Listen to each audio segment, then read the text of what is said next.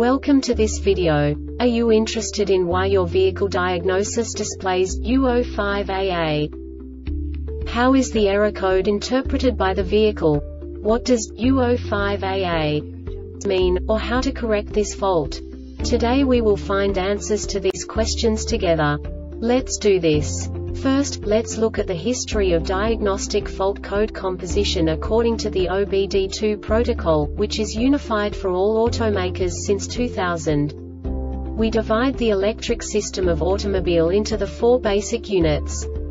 Powertrain, body, chassis, network. This distribution is defined in the first character code.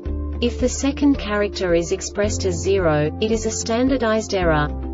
In the case of numbers 1, 2, 3 it is a more prestigious expression of the car-specific error. The third character specifies a subset of errors. The distribution shown is valid only for the standardized DTC code. Only the last two characters define the specific fault of the group. Let's not forget that such a division is valid only if the other character code is expressed by the number 0. Our website airbagreset.sk produces useful videos for you.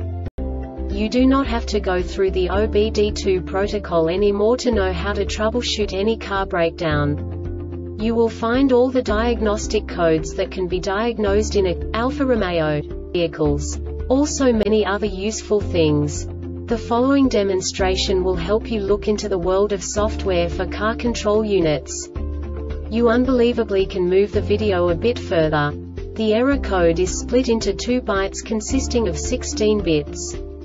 One bit is the basic unit that each computer works with. The bit has two logical states.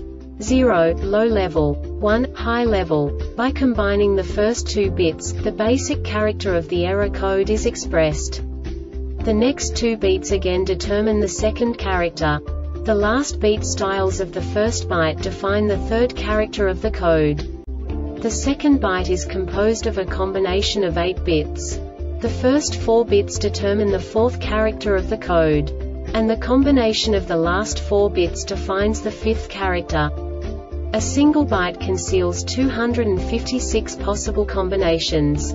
We now know in what way the diagnostic tool translates the received information into a more comprehensible format. The number itself does not make sense to us if we cannot assign information about it to what it actually expresses.